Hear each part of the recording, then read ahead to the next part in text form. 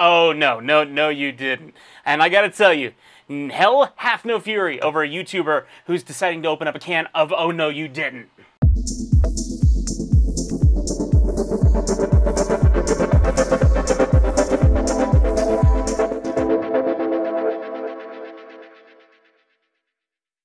Hey there, fellow minions of technology. My name is Tim Lee. Welcome to Legacy Studio. Not. What? I'm sorry, I'm being a real turd. I just want you to have to start Um,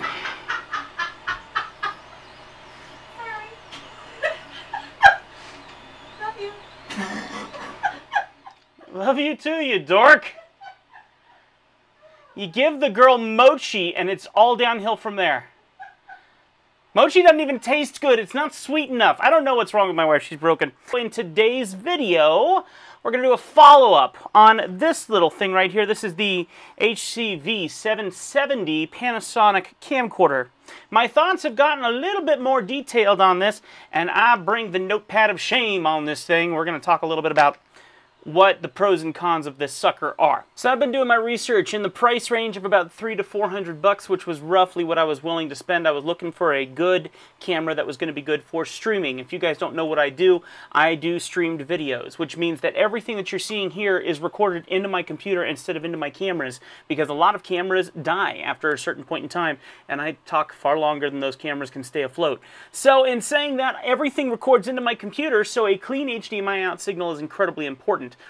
And just recently, I did a study on these guys. This is my Sony A6300. Uh, I also had two a Sony A6000s where I found out that the quality just wasn't there for me. It wasn't quite what I needed. And because of that, I decided I was going to sell my A6000s and find a camera that was suitable for the purpose.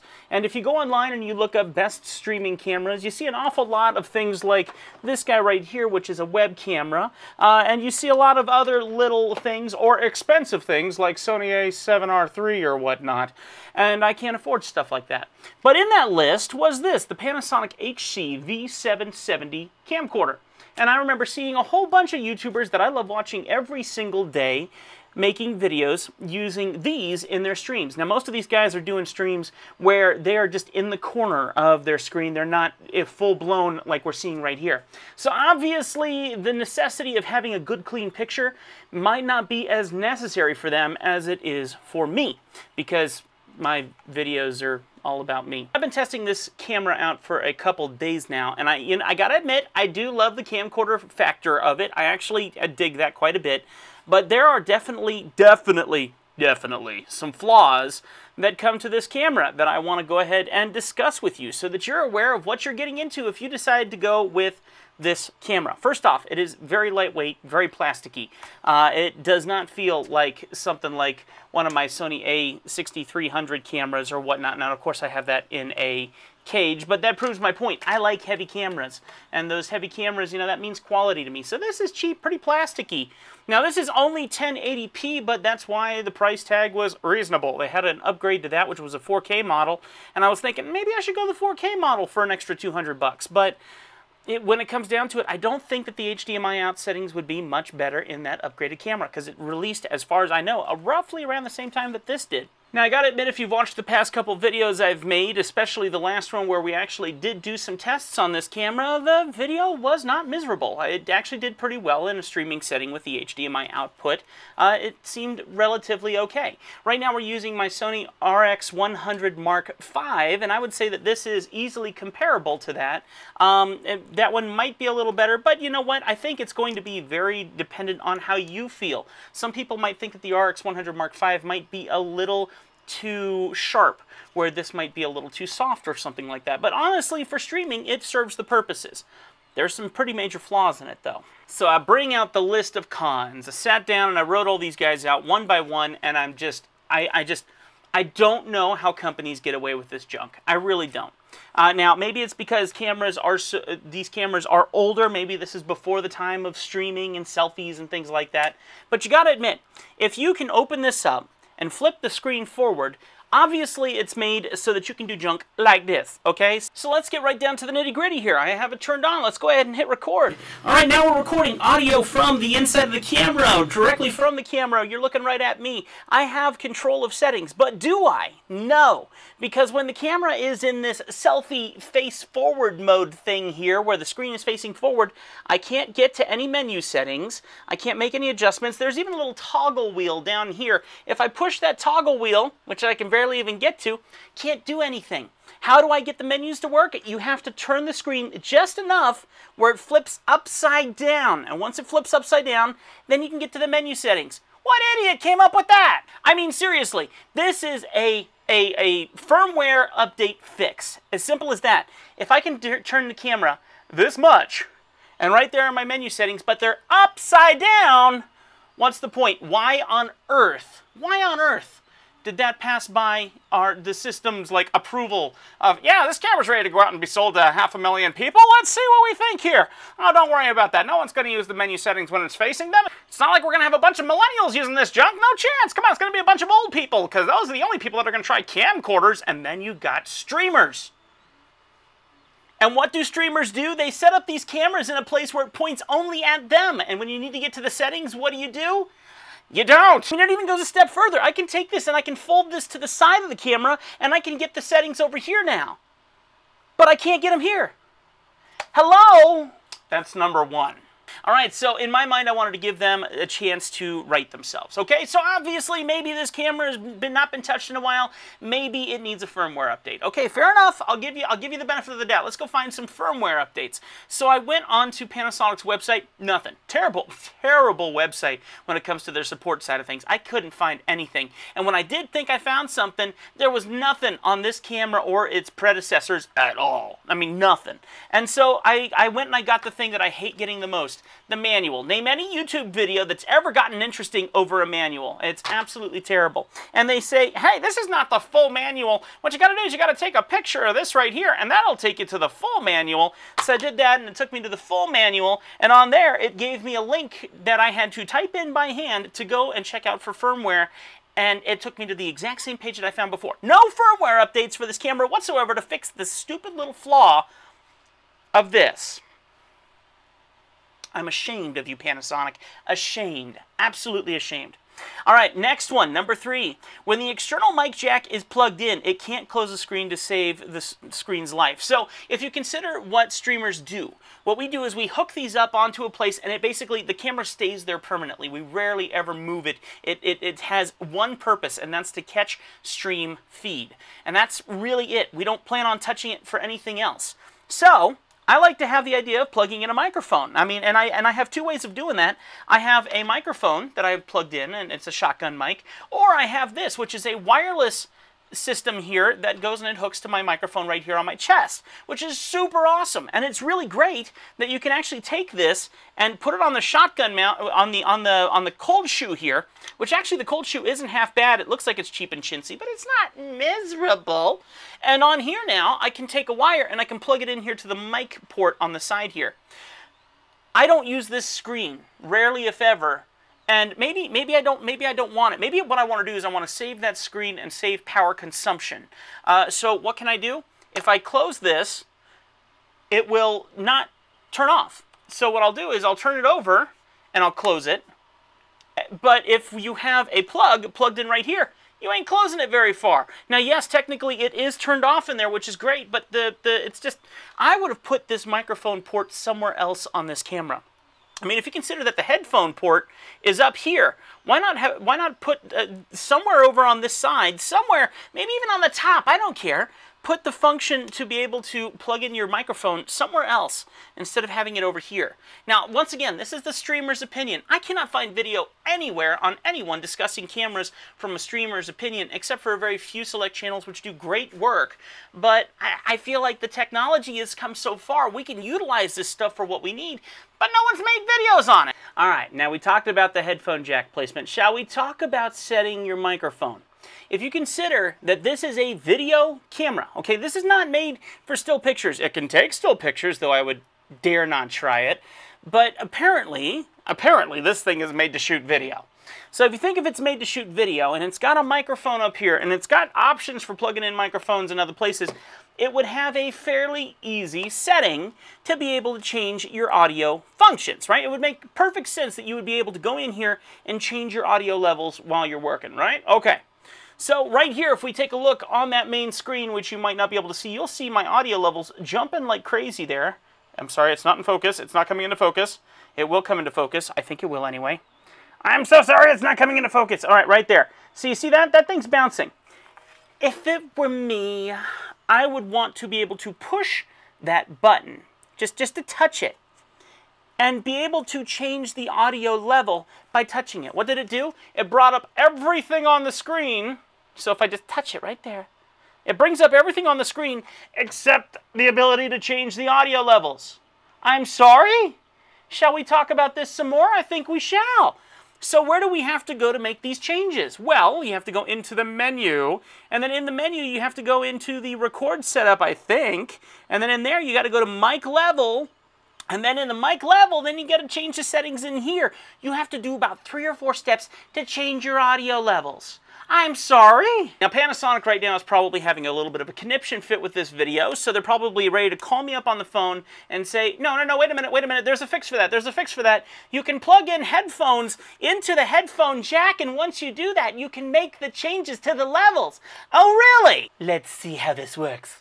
We'll put on some headphones here, we'll grab the other end, we'll plug it into said camera's little jack up here. Now, someone else did say that they did not like the jack up here. Personally, I think that's a great place to have it. I'm totally okay with that. Now let's open it up with the headphones plugged in. Okay. All right.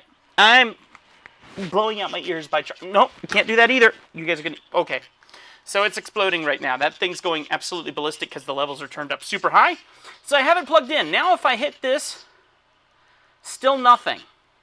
If I come here to the menu settings and I scroll through them, now there's a function to change the levels. That's better. Why wasn't it there in the first place? What on earth gave anyone the idea that this wasn't a good idea to have on the menu anyway? Because when you unplug it, it goes away. What on earth? Leave it there. Don't touch it. Leave it there. Okay, and here's the thing. Well, that can be fixed with a firmware update. Where are your firmware updates? And why wasn't this done six months ago to a year ago? This camera is like from 2014. Get together and figure this out. And now, and now, just, just, to just, just put the cherry on top of the cake, or on top of the ice cream, or the banana split, or whatever you choose to eat. This camera will only shoot in 60 frames per second. Yes, you heard that correctly. It will only shoot in 60 frames per second and 120 in slow-mo, which you have to set separately. But here's the 60 frames per second.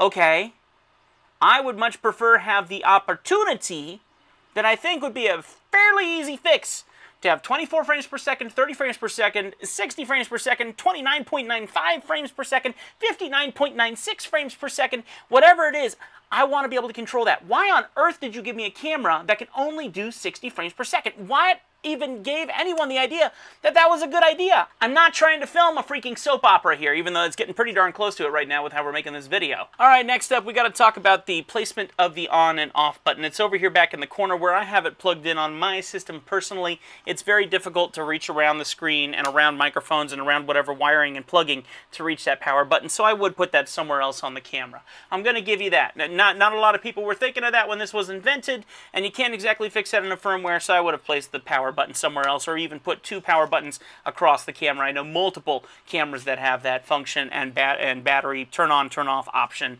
somewhere else on the camera more than just one place. Another thing to discuss is the fact that yes, a lot of cameras do have several function buttons. Exactly like on this camera here, I have a C2 button right here. I have a button, a C1 button up here. A lot of cameras have buttons that you can create or, or, or, or tell them what you want them to do. And this camera has zero, zilch, not a none, zip. I think some buttons like that would have been a pretty nifty feature. And they got one step closer because in the menu that you bring up here, you can select three, three options that show up here on the little menu on the side. Okay, that's fine. When you go in and you look at what options you can choose, They're all stupid. Just because you made this camera for consumers who probably don't do video doesn't mean you could at least go the extra mile and put some profes- professional stuff in there. How about ability to change my audio? How about the chance to change my white balance? How about some other features that you need in a video camera? What do they have? Oh, do you want to pre-record before you record? Do you want to turn on and off the dinky light on the front of the camera? Do you want to be able to have a pre-fade and a post-fade so when you hit record it fades in and you press it again and it fades out? I'm, I don't need this junk. I need professional stuff. I need when I hit a button for it to do something immediately for me. I just, I just, I'm having a day. I'm having a day. I'm sorry, I'm having a day. And finally, I truly do have to agree with another YouTuber who did take a look at this camera's power supply. This is a 5 volt DC in, okay, 5 volt. We can charge stuff in 5 volt over USB, okay? So that being said, why on earth is it a plug? Okay, a good old-fashioned plug that we have to plug in. And the cable itself that I'm not going to show you because I dare not unplug it and lose it, literally is a USB to that plug. What, who, who, who came up with this idea? And here's the thing, there is a micro USB port on the side here. Not chargeable. What good is this thing for updating firmware? Well, God forbid you figure out where firmware goes. I just, I just, I just can't. I just can't right now. I just can't. All right, anyway, in the couple seconds that I have left here, I do want to say, I, I do actually think the camera's pretty interesting. And for a streaming camera, after messing with it with a few days, even though my first impressions of it in my very first video were not quite uh, impressed with it, I'm, I'm okay with it. I'm okay with it. For the money I spent, I think it was like 300, 350 bucks. I'm, I'm relatively okay with it. And admittedly, I even enjoy using it when I'm shooting video of my dog or my wife or something like that. I've really enjoyed the automatic settings in this camera. Camcorders do an amazing job of getting video. But when I can't choose to use 24 frames per second, I just could, I could just, I could just, I could just do something I shouldn't do. And I keep trying to remind myself that yes, this is a consumer camera. People who do not make video on a day-to-day basis would probably suggest it. So then why on earth does every blogger on planet Earth say that this is a good streaming camera? Oh, because we like to shoot in 60 frames per second. We would prefer 60 frames per second so it meets our needs. I don't like you people. In the end, I'm keeping this camera. Technically, in every way, shape, and form, I'm okay with this camera. Do I like this camera? Yes. But does it have some royally painful issues? Yes. Let's just say if you got bit by a bug, you got to live with that pain until the pain goes away. I've kind of been bit by the bug, and I have to live with the pain until it goes away. And how I'm going to make the pain go away, I'm not sure. I don't know if I'm going to replace it at some point in time or if I'm just going to deal with it as it is, because technically I don't need some of those other functions. But it's a, it's, a, it's a video camera. It's supposed to do all the extra functions that I'm talking about here. And it could be fixed. So much, so much of this could be fixed with firmware. And there ain't none anywhere. None. None. And when I look when I when I when I when I when I look at the when I look at the the version of firmware that I have in here, it's 1.01. It's the very first firmware and I cannot find anything else. This camera's been in the market for years and there is no updated firmware for this to fix some of the stupid little issues that are firmware fixable. I'm just saying you just opened up a can of you didn't do that and I just don't like it. Anyway, if you have enjoyed this crazy, annoying rant, then please hit that like button, subscribe, leave a comment down below, and let us know that you enjoyed me just absolutely opening up a can of rage. And the reason I'm holding the camera like this is technically right now I'm trying to choke it, and it's not choking. And technically, I think if I went to Panasonic and I told them all of this, they'd probably go, you're absolutely right. You should upgrade to one of our prosumer cameras for a thousand bucks. And truth be told, Panasonic is a great brand. I use it during my day job. I love their cameras, but what is this thing? 90% of my concerns with this thing could be fixed with just a, a, a firmware update. And yes, it takes time, and yes, they're trying to work on other cameras, and yes, we're in the middle of the corona pandemic. But when it comes down to it, this is fixable. But probably they won't do anything because this camera is technically old. Is it still good in 2020? I think it is. I think it's pretty reasonable. I think it does great. But I think that there's a lot of, a million different ways to fix some of the problems that could be so easily fixed in just a firmware update. That is going to do it for this video. Thank you so much for watching. I am done. I need to go, I need to go drink a Diet Coke and chill out here. My gosh, Netflix and cuddle. Something needs to happen here. I'll see you guys next time. God bless you all. I love you all. And just, yeah. I, you know what? It's not a bad camera. The link is in the description below for it. Buy it through Amazon. You actually save me. Uh, you give me a couple bucks, and it's no extra cost to you. Just, just, just know what you're walking into. Know what you're walking into. Panasonic, I do love you. I'm just hating on your product that you probably made a bunch of years ago before all this stuff came in and you realized that streaming was going to be a thing. But I'm just saying, this could be fixed. And if you fixed it, you'd get some major cool points from me right now, just saying. So either everyone's to subscribe because I did a mad rant, or everyone's to unsubscribe because this is not the usual Tim you've seen. Where's the beard? You guys are saying I have a tape-on beard. No, I shaved it off. And I miss it so much. The coronavirus is just, if I wear a mask, I can't with a beard and nurse, you know. Ugh.